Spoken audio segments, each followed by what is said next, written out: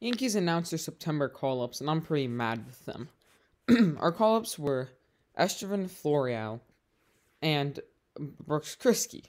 Now, Kriske, I'm okay with, um, because I know a lot of people want Gil to be called up, but Gil's just pitched worse in the minors. I mean, he has a, collective 4.13 ERA. Mm, that's including his 15 innings in the majors. So he's not as good, and he has a major walk problem. And Kriske actually is better. I, I know he gave up four wild pitches in one game in the majors, but in the minors, 3.08 ERA, whip in the in the 8.8, and a FIP below 0.25 or 2.5. My bad. Like, I think he's the better option here. I I agree with that move. I would prefer to see a guy like Stephen Ridings, but he's injured. The major thing is you call up Florial over Allen. Greg Allen is miles better than Florial. Florial in the minors, 67 games, is hitting 212 to 713 OPS. Not good. And that's in double A and triple A combined. So, how about Allen?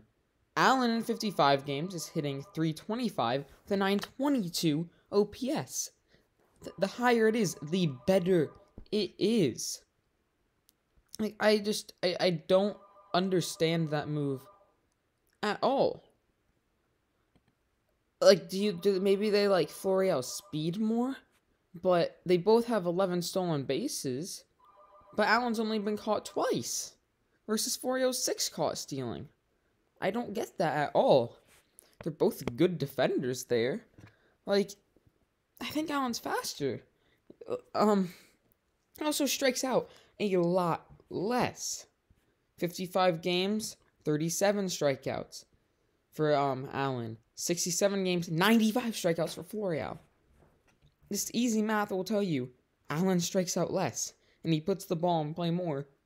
And his OPS is higher. They're both pretty much uh, good defenders. They're, you know, they're both fast, good defenders. I don't get this at all.